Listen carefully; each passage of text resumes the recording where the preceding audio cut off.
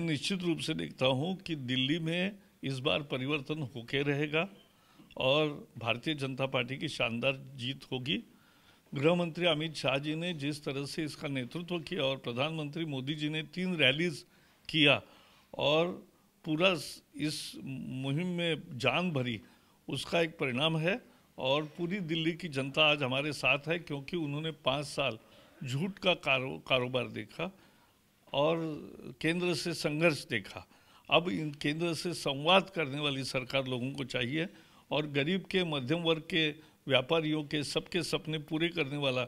जैसे मोदी सुशासन चलाते हैं देश भर में वैसे ही दिल्ली में चले। ये लोगों की अपेक्षा है। टेंशन में है या निश्चिंत है? नहीं निश्चिंत है और पाँच साल काम किया था। आज दिल्ली काम पे वोट करेगी और विशेषकर शिक्षा के काम पे वोट करेगी इसलिए मुझे तो बहुत फक्र है। कि दिल्ली का चुनाव, पहला ऐसा चुनाव है जहाँ लोग अपने बच्चों के भविष्य के लिए, सारे बच्चों की अच्छी शिक्षा के लिए वोट करने वाले हैं।